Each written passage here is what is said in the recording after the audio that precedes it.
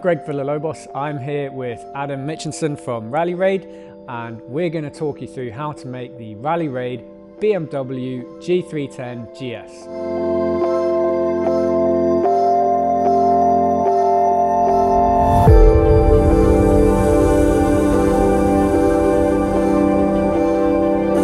Okay, Adam, so we're here. We've spent the last day and a half making this bike, um, converting it from the stock bike to the Rally Raid bike.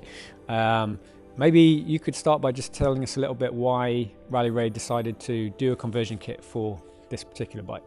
I mean, for us, the bike popped up for a couple of reasons. It's lightweight, it's low CC, it's available worldwide, and it's pretty reasonably priced as well in the UK, which is something that's sort of at the forefront of most people looking to buy a new bike. Obviously, this is a brand new one onto the range, so there's no one out there with one yet. So everyone's trying to get them as uh, quickly as they can. And it's, um, I guess, one of the, the big things is it's it's it's a GS, but it's not the big monster 1200. It is a light bike, and um, it's fairly capable um, off-road trail riding, but needs a little bit of refinement out of the the factory. So it's something far more accessible for sort of all riders of different ranges to get on the 310 compared to something like a 1200. Just have a good day's trail riding on it.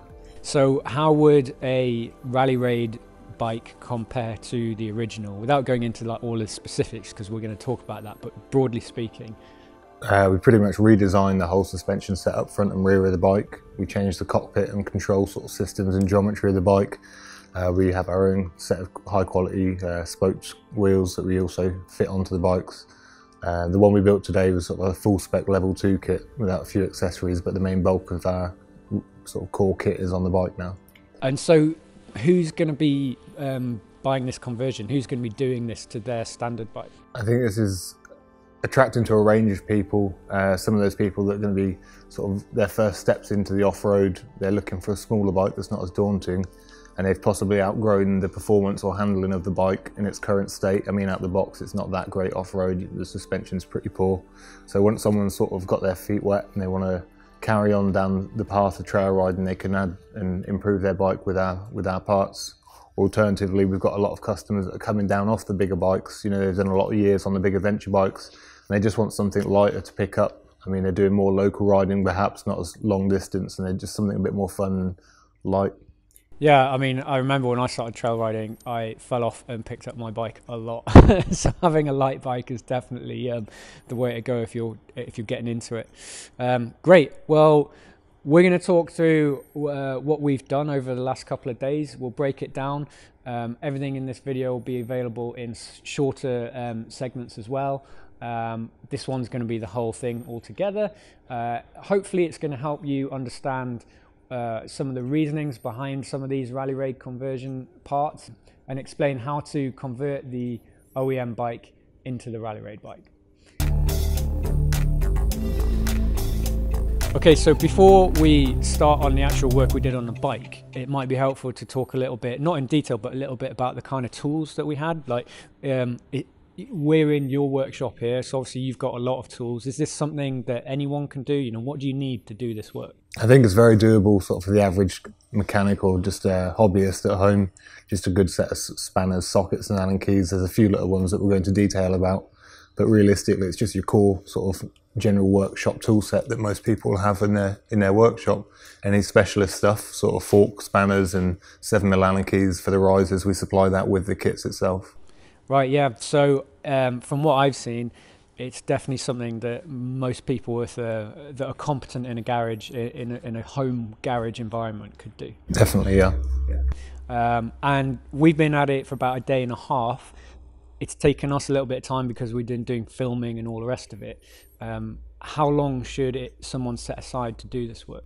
So if you've never done anything like this before, but you're kind of confident in your mechanical skills, a day and a half to two days to do a bike sort of similar spec to what we did.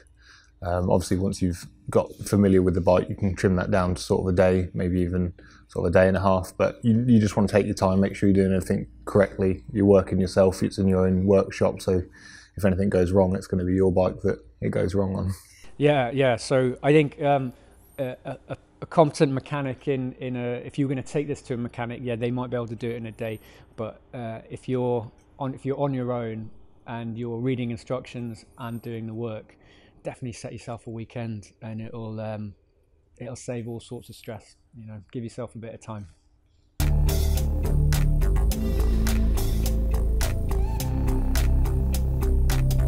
So the engine guard is always the first thing we do because it allows us to get the bike up and work on the rest of it. Exactly. You've got a safe platform. The bike's not going to tip off the stand or anything like that. Great. Okay. So what does the bike come with? So the bike comes with a plastic uh, engine guard. It's mounted directly onto the sump with some rubber bungs. Um, I mean, it, it, works for general road use and sort of light off-roading, but it's not designed for sort of heavy adventure use the shock, as it stands at the moment, the shock's going to go straight through the engine guard, through the rubber bungs. Although there's some damping there, it's still going to put a lot of the force through the sump and the engine, which is a pretty bad idea. Yeah, so really having an engine guard mounted to the engine block um, is limiting. So uh, yeah, okay. So it was fairly straightforward to get that off. What did we do? It's just uh, four nuts on the bottom to get the actual main plastic bulk off, and then underneath that it reveals. Uh, they're four M8 threaded rubber bungs, and you just have to get the spanner like you see in the video. Make sure you're gripping on that little metal bit at the top of the rubber bung and just uh, ease them out. Once you've done half turn, you can just do it with your fingers to save damage any paintwork on the bottom of the engine. Yeah, that came off super easy. Um, and like you say, it'd be fine for road work. Um, I mean, it's kind of okay, but you wouldn't want it to take any big hits. Yeah, aesthetically, it looks cool, but the function is just not quite there for what we need to get out of it. Okay. Okay, so that comes off, and what are we putting on, and how do we put it on? So our engine guard's the tubular steel design. Um, this keeps the weight down, it keeps it very rigid, and it also acts as a bit of a rad protector as well on the 310 because we've got the bars coming right up to the radiator.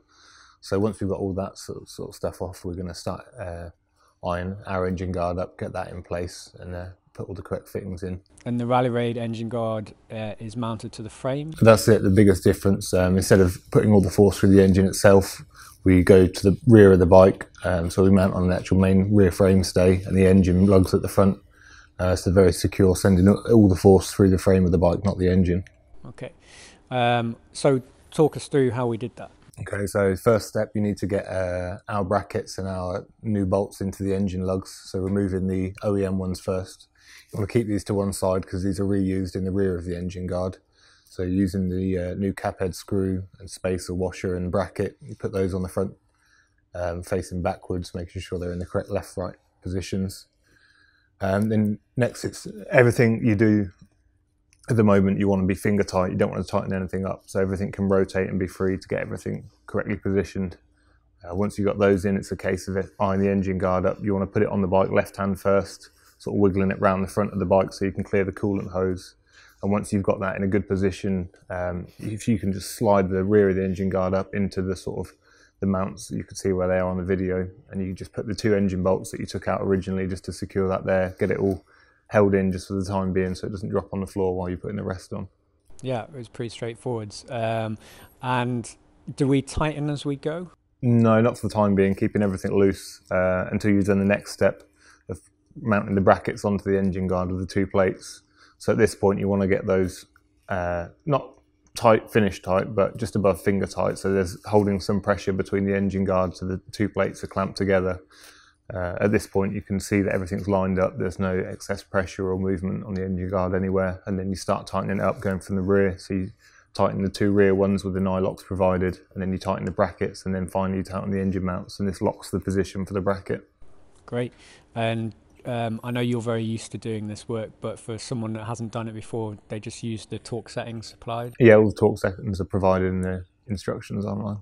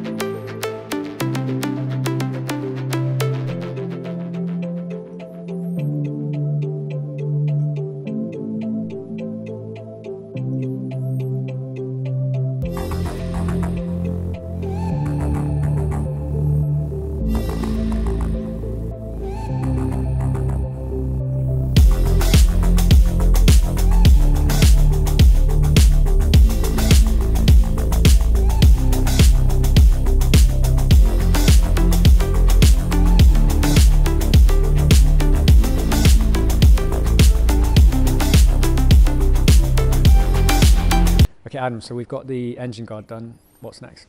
Now we can get the bike up onto a scissor lift and start working the rest of the bike.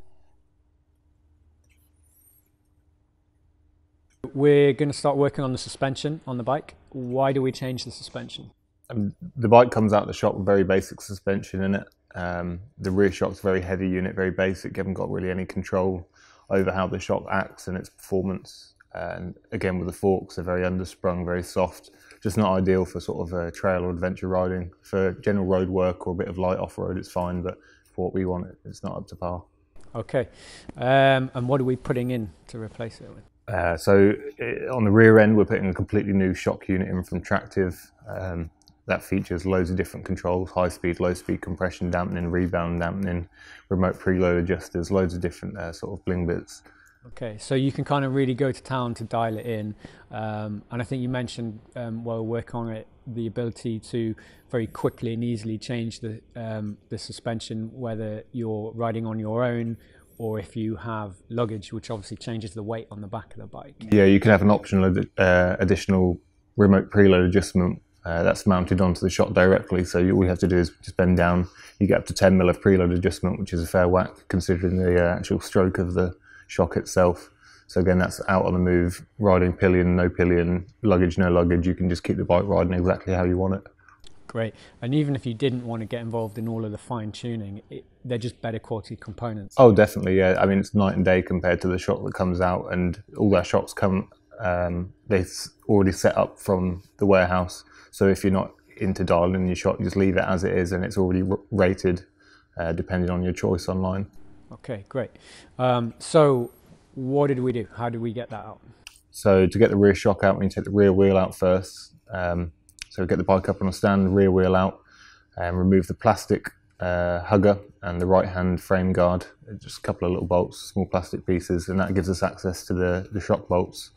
So you want to do the lower shock bolt first before we do the upper one, obviously, because the shock will fall down into the bike, still attached to the swing arm. Um, on the lower one, you want to be careful that the bushing doesn't come out. Sometimes from the factory, they're already Loctited, and some of the Loctites bled onto the bushing.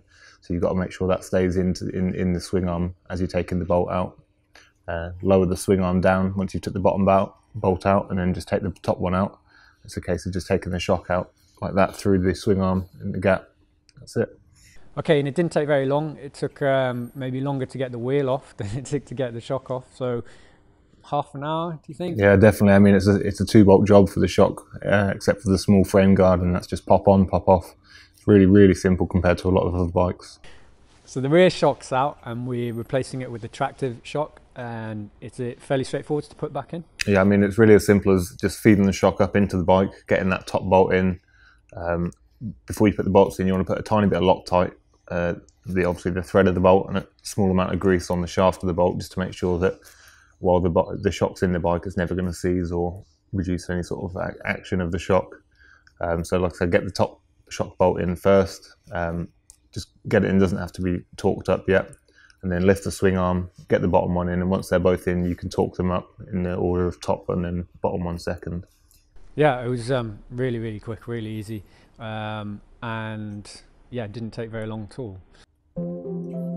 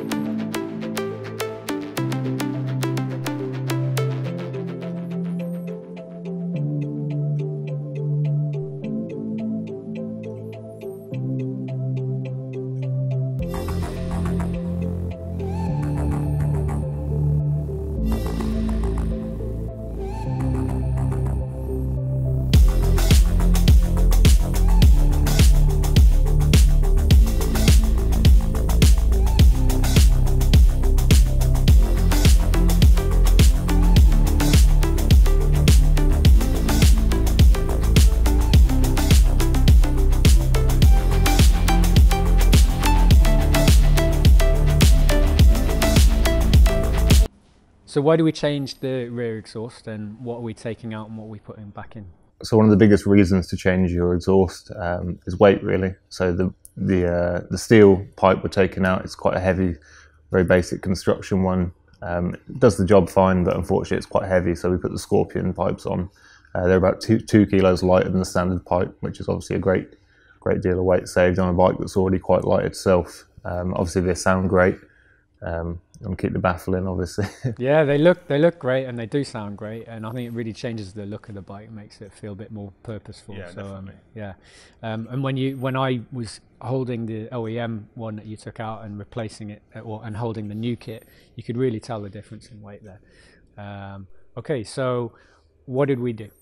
First step was taking obviously the OEM pipe off. Um, with the new pipe, we supplied a 12 spline 10 mil spanner. It's quite a special spanner and that's designed for the special nuts on the back of the cylinder head that hold the pipe on. Um, so the first job is obviously to take these nuts off. Be careful not to drop them in the engine. If you've got a magnet or anything like that, it's a useful thing to have around. Uh, once they're removed, you want to take the CO2 sensor off. Um, so that's already in the pipe at the moment. Using a 22mm spanner, you can just crack that off and take it out with your hand.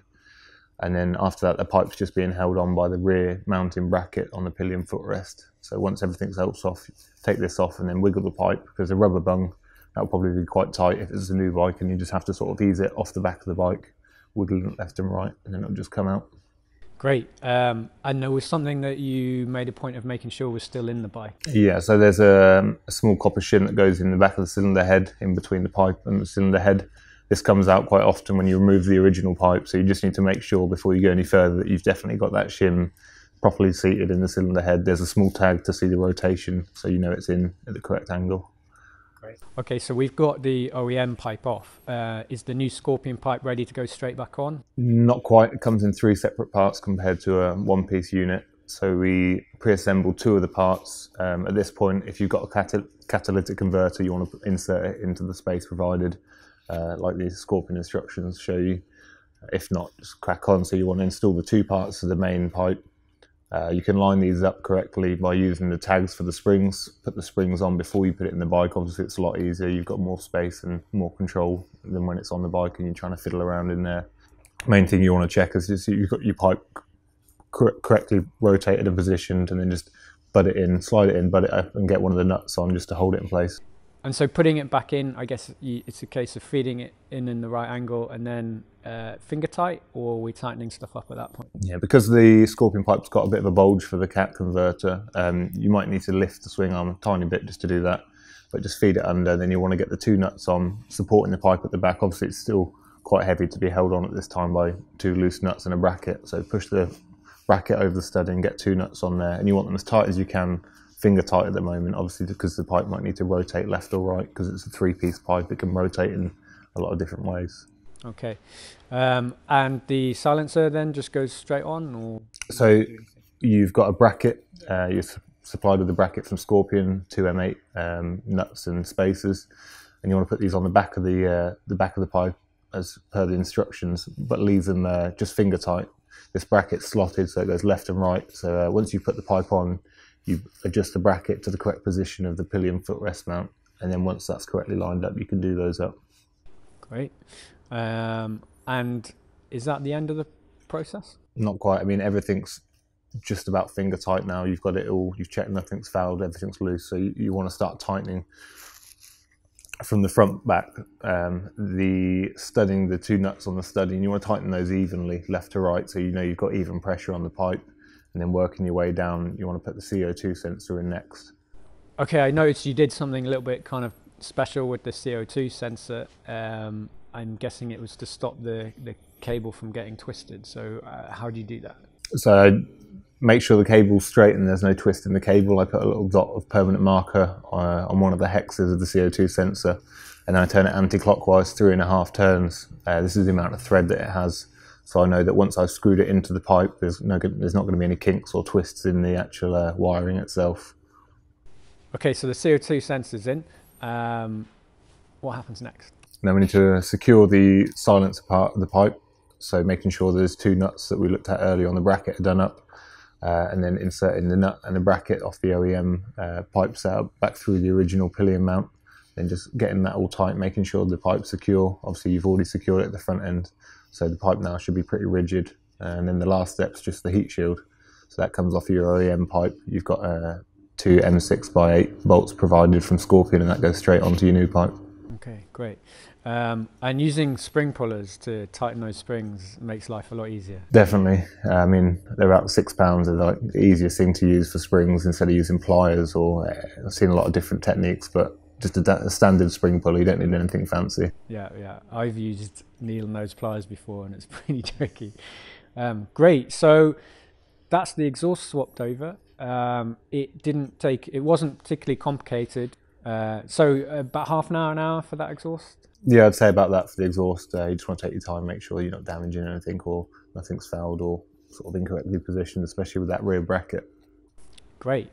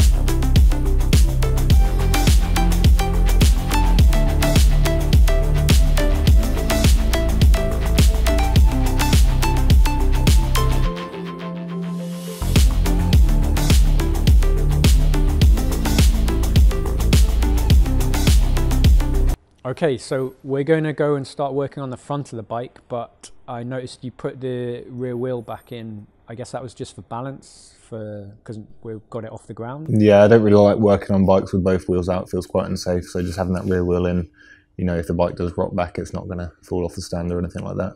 Okay, so that's all the work done on the rear of the bike, and now we work up to the front of the bike. Um, and I guess uh, what's left there is the cockpit and the uh, front shock. So we worked on the cockpit, the controls, the handlebars, all of that stuff first. So why are we changing that from uh, the OEM standard?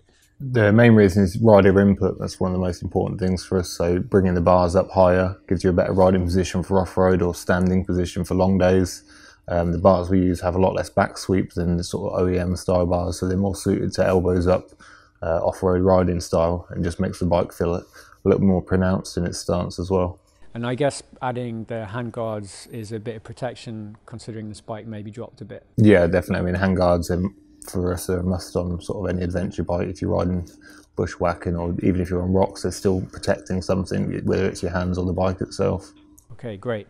Um, so, what's the first thing we did to, to do that? It, it, this part can take a little bit of time. It's again, it's not complicated, but there's some fiddly steps to it. Yeah, you definitely need to have a bit of a system for it. Um, First job on the BMWs is the bar ends. That's just a simple Allen key removal. And then you want to start by loosening all the controls and clusters.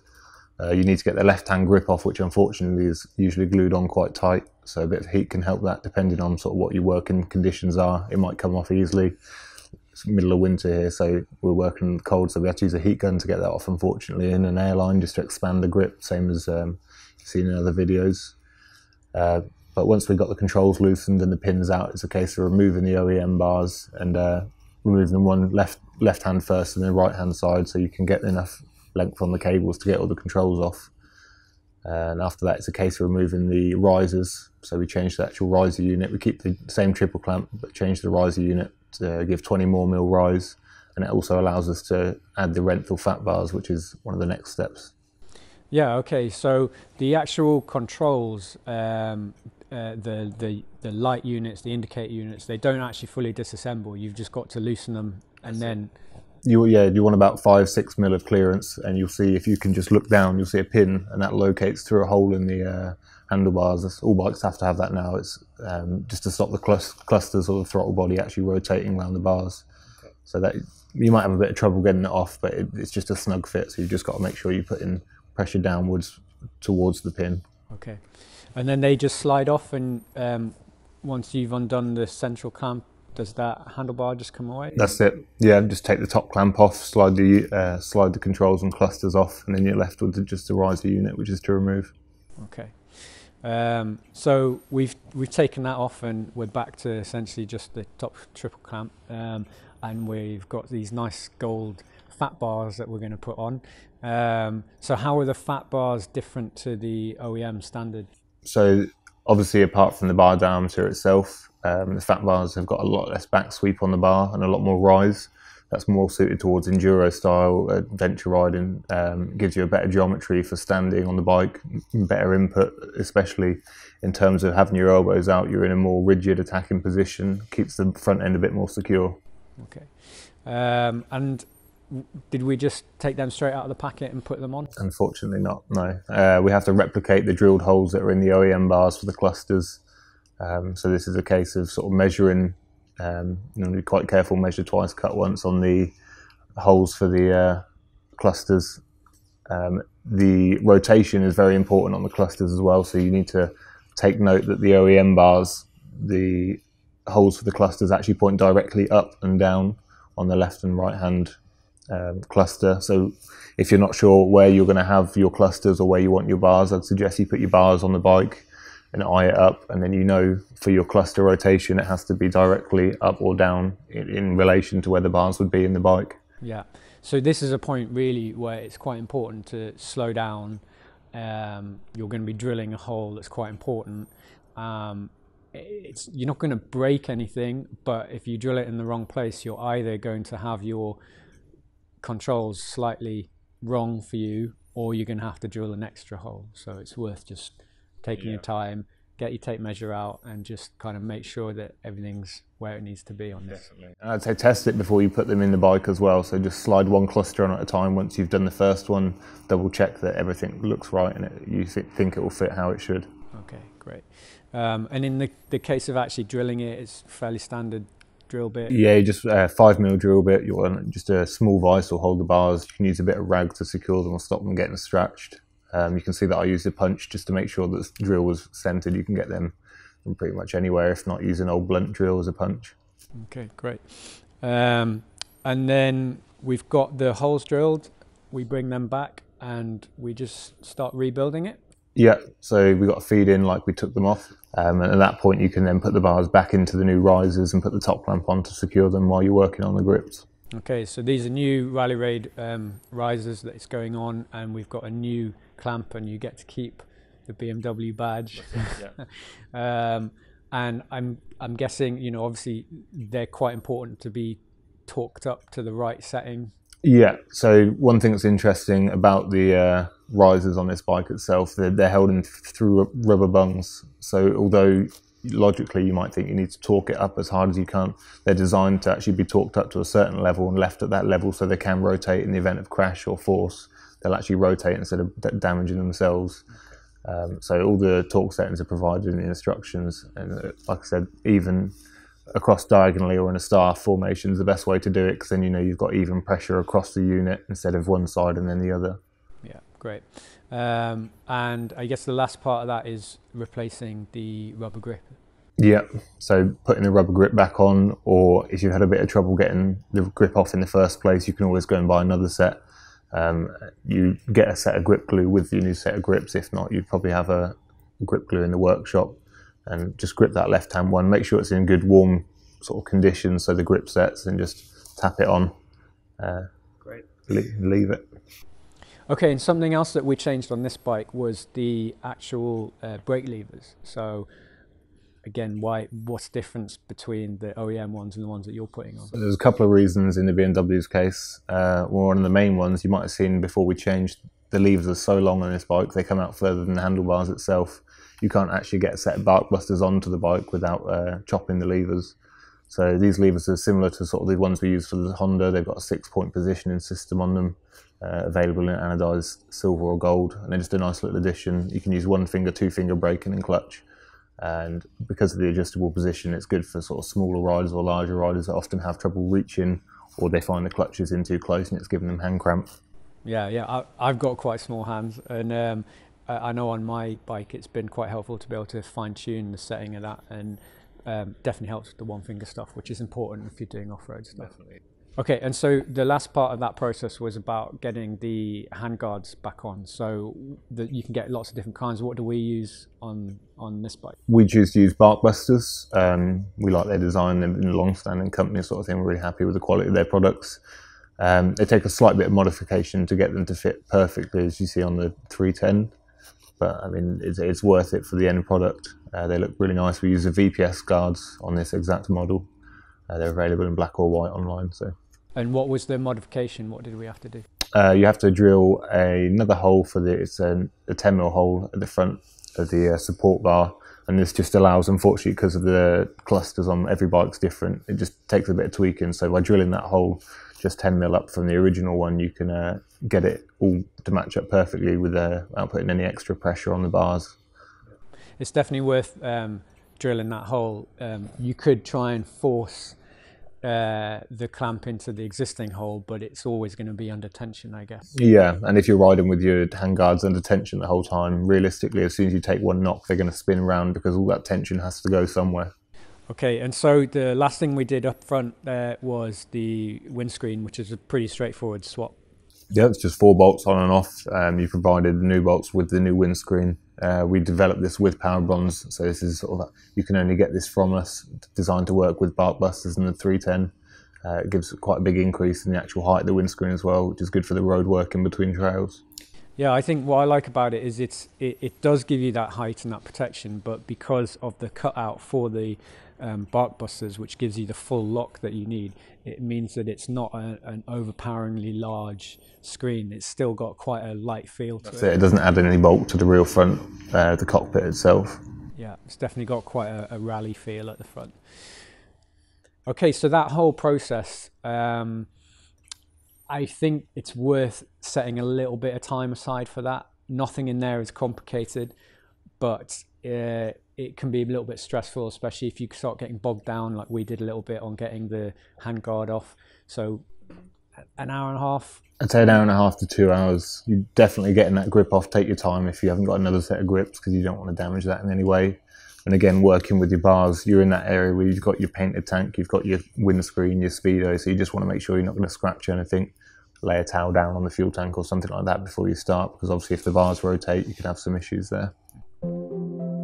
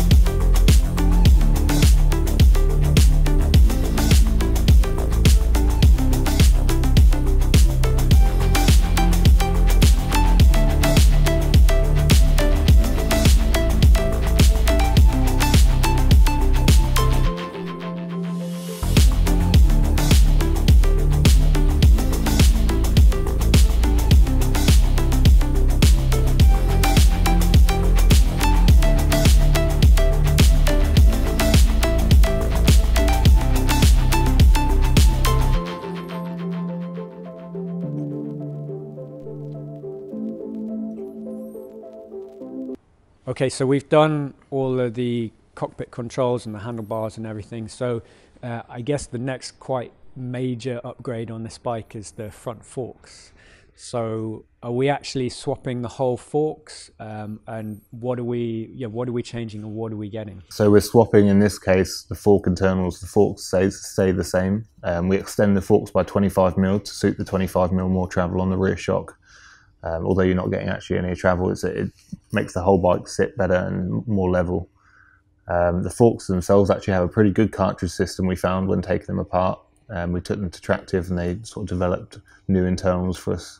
Uh, the design of the GS fork legs is sim- similar to some of the newer bikes or mountain bikes where you have all the controls in one leg and the other leg is more just a stabilization and rebound leg that does more or less nothing. It's to save weight. Um, obviously, on a bike that size, you don't need a full set of sort of EXC style or weight forks in there. Yeah, I found it quite interesting once we got into it that um, that, that what is in one fork is not the same as what's in the other, which is what's on my CB. Okay, so how do we actually get the forks out so we can work on them? So before you can get the forks out, you need to obviously get the front wheel out, get the fender off, and remove the caliper from the forks. Two M10 bolts, nice and easy. You've got also an ABS sensor that needs removing as well. So just take your time, because obviously that's plastic, so you don't want to damage that in any way. Yeah, that was fairly straightforward. I noticed you um, cable tied them out of the way. Yeah, calipers or caliper mounts, just cable tie them out of the way because it stops them falling on the floor, A, damaging the caliper itself.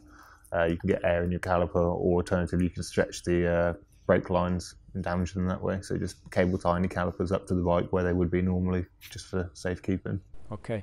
Um, and there was something important you did before we got straight into taking the forks out. Yeah, so you have to undo the top cap of the fork. Um, you can't actually do this in the vise, or you shouldn't do it in the vise because you have to clamp the vise too tight on the fork, damaging the internals. So if you just loosen the top nut on the upper triple clamp and leaving the two lower ones on the lower triple clamp done up, you can use a 17 mil spanner and just loosen the turn, loosen the top caps on the forks by two turns before you take them out the bike itself. Okay, um, and it's fairly straightforward to taking the forks out after that. Yeah, it's just um, two two bolts on the lower triple clamp and then just gently slide the forks out. I think one of the good things is you don't have to take the front of the bike off to access those bolts. Yeah, compared to a lot of other bikes, it's quite easy to work on. Everything's accessible more or less with just a socket and you can get to what you need to. Great. Okay, so those forks are out. Um, I guess we get into a, a bit of a sensitive part. Um, so um, before we get into what we actually do, what kind of area, you know, can we do this on the floor? Uh, you want somewhere a bit cleaner than the floor, I'd suggest. Um, it just takes some time to prepare like a decent workspace. Make sure you've got a vise that you're fairly confident that it's not going to drop your fork or something like that. Um, you want a measuring device. You should usually have one of those anyway if you're working on suspension or engine oils or anything like that. Um, and really just make sure that you, you haven't got anywhere where bolts and dirt can get either down on the floor or into your forks. Okay, great. Um, and I noticed um, we took the various elements that were going to be going into the new forks and we laid them out so we could um, get them in the right order. Yeah, yeah, and especially if you stop halfway through, you know where you are with the build. Um, if they're all just in a bag, you don't know what you've taken out. Lay them out in order, and you can check yourself before you put it all in. So, what are the elements that we're swapping? Maybe we could talk through fork by fork because they're different. Okay, so on the left leg, um, this is pretty much just is, this is pretty much just a stability fork, like we spoke about earlier. This fork doesn't really do much except from rebound. Um, so on this fork, it's just a very simple case of taking the top cap off, and all we do is add a 25 mil ex- extension spacer into this fork, and that matches the right hand leg, obviously, to give us that 25 mil um, more length on the fork. So is there any oil in that fork? There is oil in that fork, but for what we need, we don't actually change the oil um, because it's a stabilization stabilization leg. We're just changing the length of it. Okay, so the fork is just worked on in a way that the, the oil doesn't come out. Yeah. Okay, and actually changing that fork was really quick. Very quick, um, but I'd still suggest sort of at least 15 minutes, half an hour. Um, forks are very delicate; they've got very fine threads on them, so you just want to make sure that you're doing everything as carefully as you can. And is there anything to note about how we tightened everything up on that fork before we put it back? So again, like when we took them out of the bike, you need to tighten them as much as you can by hand in the vise, but obviously you're not going to be able to grip the vise and tighten them up all the way. So you're going to have to leave them sort of two turns undone. And then once you put them back in the bike, that's when you can do the top cap up itself. Yeah, yeah, okay. Um, so we've done that one. We've put it down. We pick up the other fork. Um, talk us through what we've got to do on that and what we're what we're changing. So this fork contains more or, uh, more controls than the other one. This fork pretty much does most of the suspension for the front end of the bike. It contains your preload and your damping, and your spring. Uh, this fork has a lot more components going into it compared to the other fork, uh, so it does need draining of oil. Um, you get a new spring, you get 25 mil extension space, so you get the preload spaces. Uh, you also get the preload caps that go on both forks. Obviously, only one side is active because of the design of the fork, and that gives you up to 12 mil of adjustable preload as well, on top of the three preload wings we supply with the forks. Okay, um, and can you, without going into too much detail, can you give us a little bit of an overview of how the components work in that fork? So essentially, we've extended the forks by 25 mil to match the rear 25 mil um, travel increase on the shock. We've changed the spring to a longer spring, which gives it a better stroke overall, and it's also a tapered spring. So this helps guide the spring and the fork uh, at a much better rate than the OEM one. So it just gives you a better action. We don't change any of the actual uh, damping cartridges. The forks actually have quite a good damping cartridge system in them. We found out at Tractive, so we've left that in there. Um, but we have changed some of the preload sort of capabilities uh, and again some of the internal control capabilities of the fork. So again, it's giving the user the ability to fine tune the front suspension. Exactly that, yeah. Yeah. Um, and um, what about the weight of the oil? So we use 10 weight um, on the BMW. The obviously we changed the oil in the right hand leg, and this weight is we found it just the right balance between sort of compression, dampening, preload abilities for each rider. Um, so now we're about set on 10 weight for most average riders um, of an average weight, and we're happy with the performance that that gives us. Okay. Um, so, what order do things go back in? And um, obviously, in the film, we saw your dad John working on it, and you got involved to help a little bit. Um, so, it is easier with two people. There's a step in this that makes it a little bit easier with two people. But yeah. could you talk us through step by step what we did to put the new stuff back in? Okay, so the right hand fork leg, um, we've already loosened the top cap whilst it's in the bike, so we're going to put it on, in the vise about 45 degrees. Um, so obviously no oil is going to come out when you take the top cap off, and then you can remove this using a 17 mil spanner in the vise. Um, at this point, you want to take the O-ring off the top cap and put that aside. That's very important because that goes on your preload cap that you put back in. Um, once you've got the top cap off, it's time to drain the fork completely of all the fluids. So turn it upside down stroke the damper rod up and down and it flush all the oil out. Um, again, take your time on this bit because you want to make sure that your oil measurements are correct and you haven't got any excess oil in the bottom of your fork. Uh, once you've drained the fork, turn the fork up um, right way up and you want to do this on a flat, clean surface. Uh, you want to push the fork stanchion all the way down so there's no tube showing and you want to make sure that your damper rod's pushed all the way down as well and that's when you add your 450 ml of 10 watt fork oil. So I've seen that um, you can get all sorts of syringes and devices to kind of set that air gap. But I noticed when John was doing it, he had quite a simple way of doing it, and I, I think that's because most people he, he said most people have got a, a ruler. yeah, oh, yeah. so h- how is he doing that? Uh, the easiest way that we've found in sort of workshop conditions um, is by measuring the air gap, and it's one of the only ways that you can actually allow for sort of machine intolerances in manufacturer's forks as well. Um, so although it should be 450 mil of oil, uh, the air gap is of a higher priority than the capacity itself. So by measuring, I believe it's um, 120 millimeters from the top of the fork, uh, and by doing with a decent steel rule, you can measure making sure that all the fork is pressed down, the damper rod's pressed down, so the fork's in its lowest position. Measure 120 mil from the top, and, and, that's called your air gap, that distance from the top of the oil to the top of the fork. Yeah. So I guess when you empty the old oil out, there might be some residue in there, so that's going to affect um, how much is already in there. Um, and I noticed with John, he was he was um, pouring it in bit by bit and checking that gap and uh, if he went over that, he poured a bit out, and so yeah. it's a little bit of kind of to and fro to get it right. it's quite an important sort of uh, parameter of the forks, the air gap, uh, especially if you've got air trapped in there. Obviously, from fr- flushing the original out, you need to work the damper rod up and down. When you've measured it, I'd say just take a couple of minutes to make sure there's no excess air in the fork, because obviously that's taking up space and will affect your air gap in later life. Yeah, great. Okay, so we've got the right amount of oil in in the fork. Uh, what happens next? It's time to put it back into the vise, 45 degrees again, stop the oil, obviously tipping out the fork. And now you want to make sure that your fork is compressed all the way down, same with your damper rod. It's time to put on the uh, retaining unit and after that the 25 mil preload unit onto the end of the thread. Okay, and that's just a piece that threads in. Yeah, uh, this comes with two 16 mil spanners and you need We've provided those in the kit and that's used to lock those two together and it's quite an important part of the fork system itself so you need to make sure that's done nice and tight and take plenty of time on that. Yeah, okay. Um, and then what happens after that? So the springs next, sliding the spring over those two units in the damper rod itself. Um, at this point you might need a hand from someone. You want to get two hands on the spring and pull it as far back as you can across those two units and then uh, as on the video you can see pushing that C-clip in, it can be a quite tight sometimes. So it's just worth having someone there to make sure nothing goes wrong.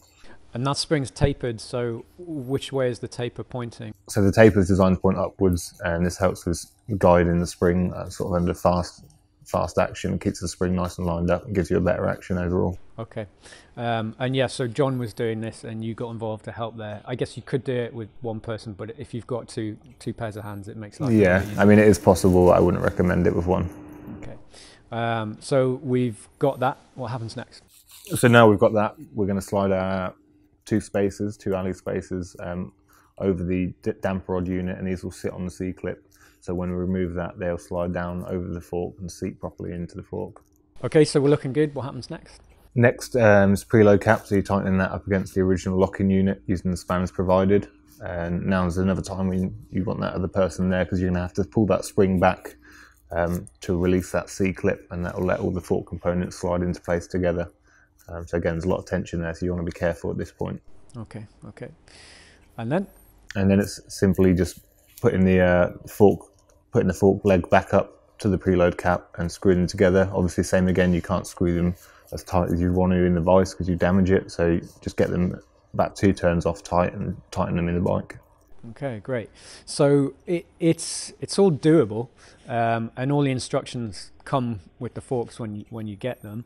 Um, but it's definitely a stage that you kind of want to just clear your mind, free yourself from distractions, and just go step by step and get it right. That's it. Everything broken down into steps is very manageable and easy. It's just getting them in the right order that's the problem. Yeah, yeah. Um, but doable, and I guess for the front forks how long should you kind of? I would say total job hour and a half to two hours. Um, again, you, it's going to take you longer if you have to have them back out and start making changes to them and stuff like that. So you want to hit hit it right the first time and try and learn as much as you can about how they work whilst you're doing it as well. I think as well, um, if you if you're not that confident um, doing this part of the project or you've never worked on forks before, two hours, turn your phone off, tell the kids not to come into the garage and just try and have no distractions, no reason to walk away from the stuff and come back and not remember where you're up to. So yeah. Okay, so the the fork internals are all done.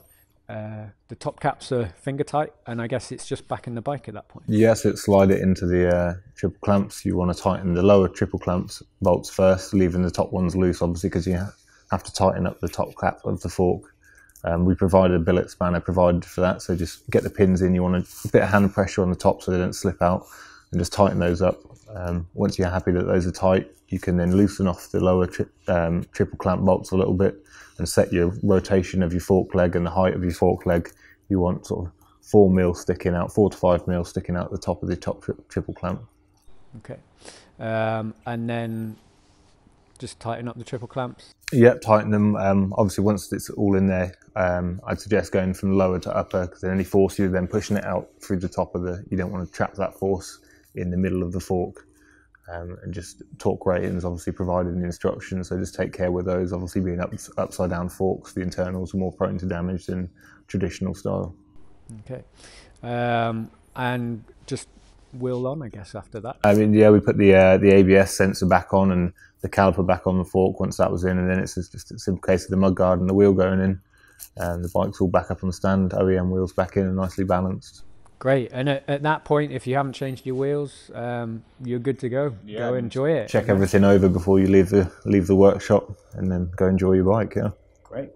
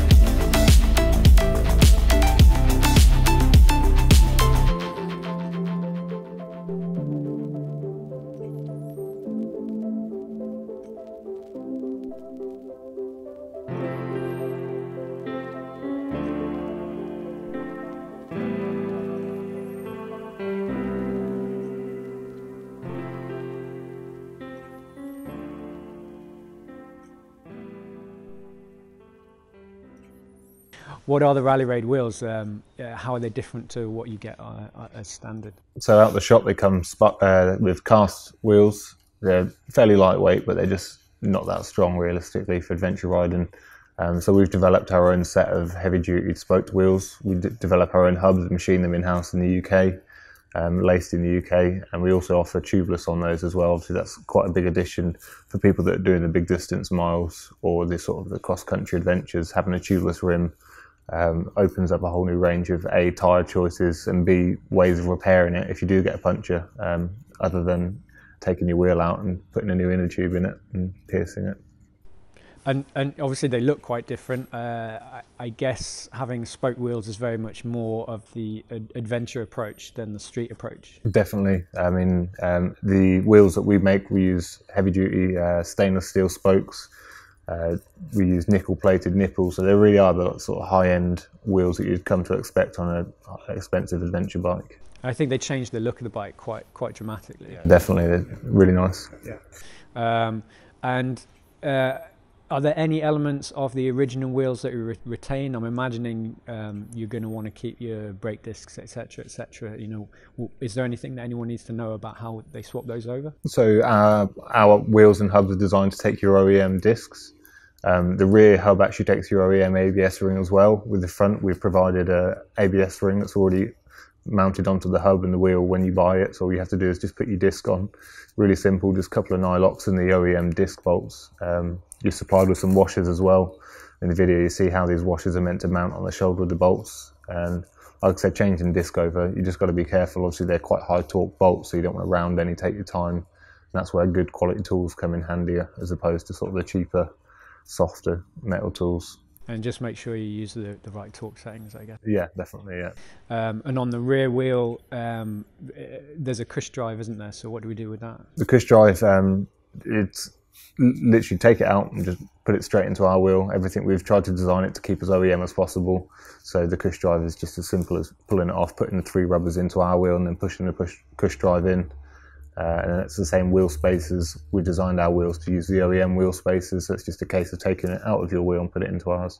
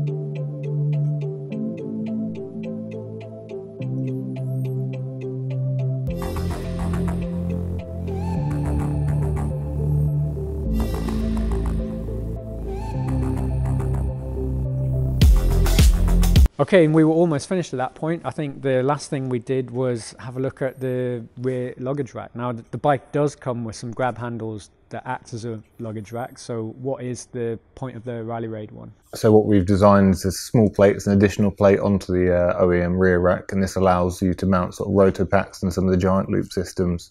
We've laser cut and designed it so you can uh, have the exact mounting position for the for a wide range of sort of systems and accessories.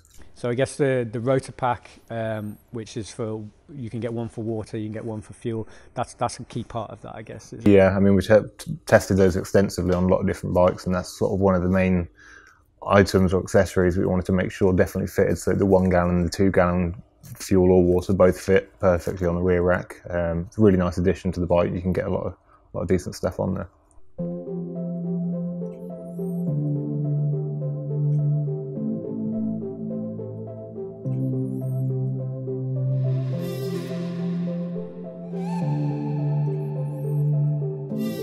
And that was it. Uh, and, and there are all sorts of other smaller aspects that I guess you could change. Um, you can change mirrors and personalize the bike, but really, um, I guess what Rally Raid is saying is that that you're taking the standard BMW G310 GS and you're um, just beefing it up and making it more adventure ready. Definitely. I mean, we've kind of completed the core package of what you'd put down for an adventure ready G310 GS now. Uh, obviously, like you said, there's more accessories that people could add themselves, but what we've built is more or less the core advanced package for any rider out there.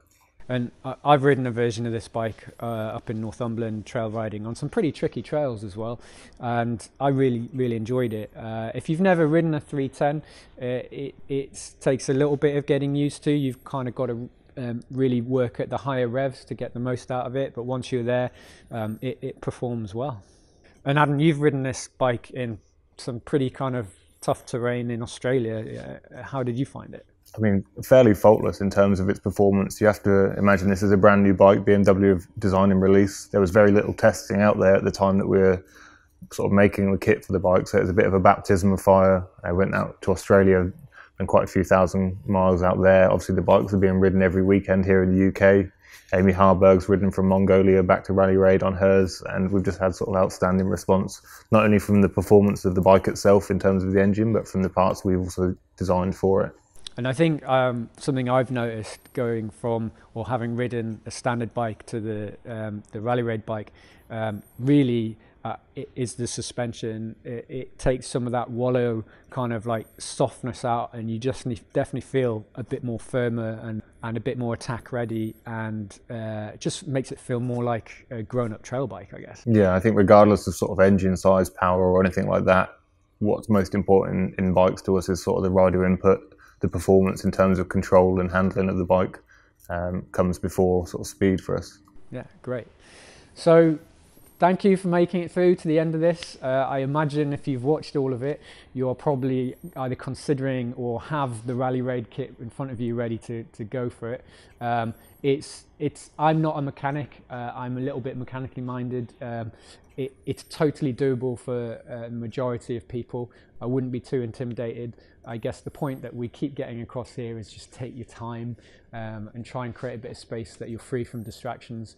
It's a really enjoyable process seeing your bike transform uh, and being able to have the components in your hands and you can really kind of get a feel for what you're taking out and what you're putting back in and the difference in quality there.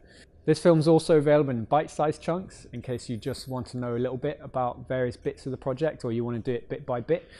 And I guess the other thing worth mentioning, Adam, is if you actually really don't want to do this yourself, uh, is there an option for Rally Raid to do this for a customer's bike? Yeah, I mean, we've done a lot of customer builds. Um, recently this year, we've actually started having 310s available to buy off the showroom in a couple of BMW dealerships as well. So if that's an option that you might be interested in, get, get down to your local dealership.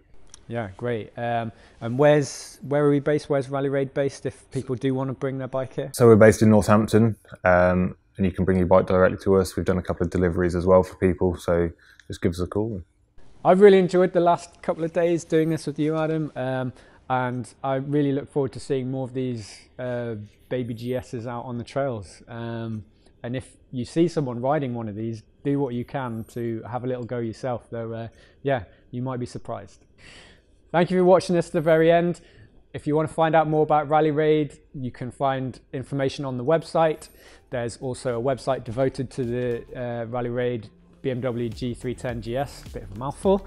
Uh, and there's also lots of information on forums like ADV Rider. I'm Greg Villalobos. You can find out more about me online and on my YouTube channel. And you can see me riding this bike and also the other Rally Raid bike, the Honda CB500X. Thank you for your time. Good luck with your build.